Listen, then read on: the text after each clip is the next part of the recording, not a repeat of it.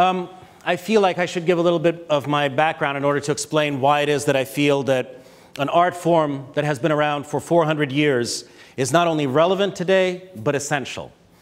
Um, I was born in Russia into a musical family. Usually, when you hear that phrase, by the way, it means that your uncle played the didgeridoo and that your aunt enjoyed listening to records. Um, in my case, it was a family disease. My mother is a concert violinist. I'm fond during interviews when asked, Oh, does your mother also play the violin? I'm fond of responding, uh, No, I also play the violin. um, my father was an opera conductor, and uh, uh, he passed away when I was one and a half. It was his deathbed wish. My father was a sadist, I now realize in retrospect. It was his deathbed wish that I be brought up as a violinist, or as a musician at least, but a violinist more specifically, so that I would be like my mother. It was also his wish that my mother, as he was in his final illness, play Bach. Um, my mother told me years later that she seriously contemplated suicide after my father died. She had lost, in the space of three years, her parents um, and then my father. And following his wish of playing Bach, she found shelter. So, as the Soviet Union's Golden Girl, a winner of three major international competitions, she was performing a great deal, and none of it gave her the kind of shelter that Bach did. But what was more amazing to me, in retrospect, is that none of her vast circle of friends, none of her relatives, no one and nothing could give her the shelter that a collection of sounds could. And the reason I have a mother is because she had Bach.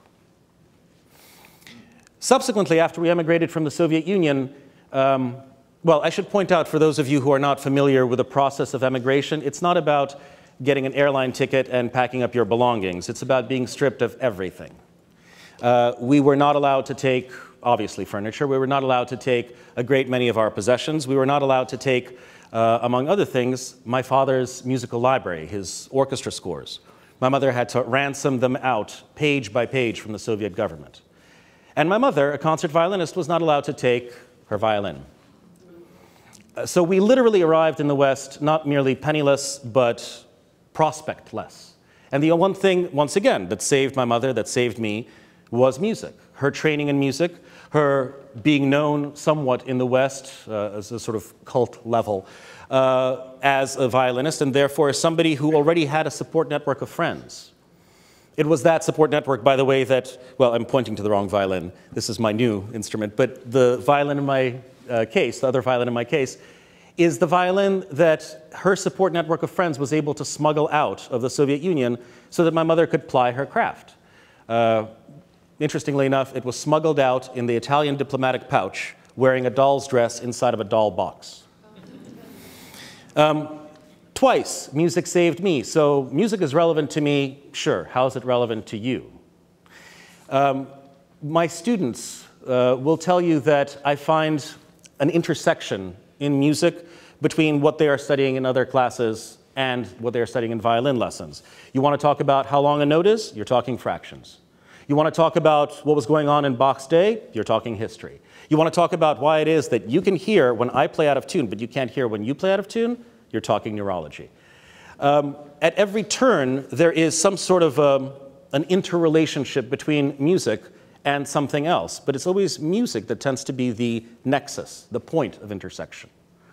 Fine, so a student who decides, through whatever masochistic reasons, to uh, study violin, by the way, for the parents here, don't let them. Um, but uh, it's their life that has led them to music. How is it relevant to you? I hold that music is the most unique of art forms. And art, of course, is the most essential thing of a society. It is what we leave as a society behind ourselves. Think of ancient Rome. What are you thinking of? You're thinking of architecture, you're thinking of poetry, you're thinking of drama. Um, as a society, also, it is in art that we find the most common language, a language without vowels. Uh, it is in art that we find something that takes us outside of an everyday existence. What are you getting for your grocery list? Uh, what is the next errand you have to run? Oh, you had a bad day at the office, but you know, probably other people pending execution have had worse days. How do you experience life at a more than quotidian level? And it keeps coming back to music. Sure, other art forms will take you outside of yourself, um, but think about a painter. He creates the painting, the, that work of art will remain there long after the painter is gone a dramatist will create a play, and in spite of the fact that it's better to see it in the theater, you can still read the play. But music is the only art form where one creator makes a work of art, another creator per performs the work of art, and a third group creator, namely you, change that work as you hear it. The piece you just heard sounded different to them than it sounded to you. It sounded different to you than it sounded to you the interpretation that you put on it is going to be just like you put onto a work of literature times 10. Because there is no word, there is no syllable of actual speech to which you can attach meaning. It's all completely subjective. Um, I'd like to actually wrap up as I began with a, a piece of music. This is not a complete piece. Um, it's a, the, the, beginning excerpt of a, a larger piece, but the larger piece demands a full-scale orchestra. So proving today's theme of the power of everyone, um, we need the power of 88 people behind me. So, um, but the opening section of this piece, Ravel's Tzigane, is very much that kind of a monologue where it's all words, it's all speech patterns, it's all commas and periods and paragraphs, and it has not one consonant in it. As you hear it, I would like for you to imagine what your life would be like, and then please take a Prozac immediately after. Uh, if your everyday emotional gamut ran this spectrum. So the opening section of the Maurice Ravel Tzigane means gypsy. So if I play an out of tune note, it's okay.